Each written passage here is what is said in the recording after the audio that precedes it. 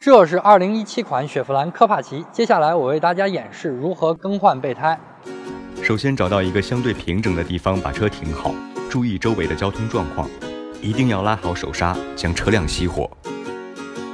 雪佛兰科帕奇的备胎在后备箱下方，打开可以看到里面还有更换备胎的工具包和千斤顶。用松紧带绑在备胎边上的卡槽内，拧开固定螺栓，将工具包取下。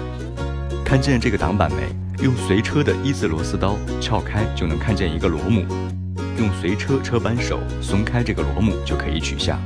由于螺母的行程较长，所以要有些耐心。随着固定螺母的松开，备胎就掉下来了。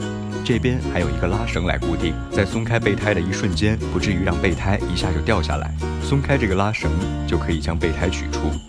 科帕奇的底盘上专门设计了千斤顶支点，前支点在这里，后支点在这里。注意不要顶在其他位置，那样有可能滑脱导致砸伤，还会导致下边梁变形。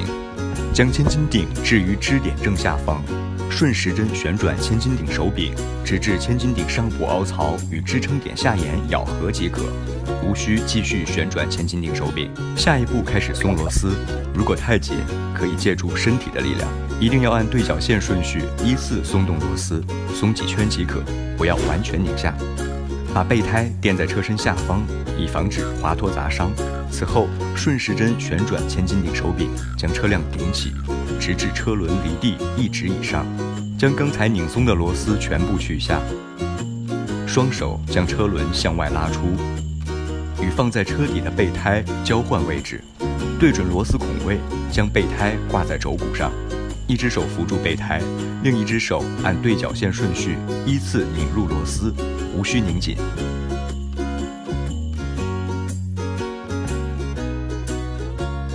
逆时针旋转千斤顶手柄，降下车身，确保车轮着地。抽出车底的轮胎，按照对角线的方式上紧螺丝。此步骤同样可以借助身体的力量。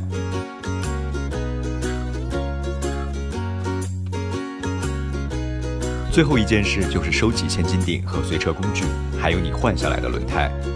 注意，科帕奇用的是小备胎，尺寸与其他轮胎不一致，因此建议最高车速不超过八十公里。建议备胎只更换到后轮位置。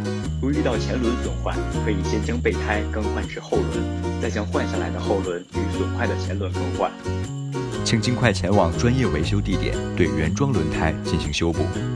OK，这个问题我们就解决了。有关于其他车型的问题，请继续关注云修车。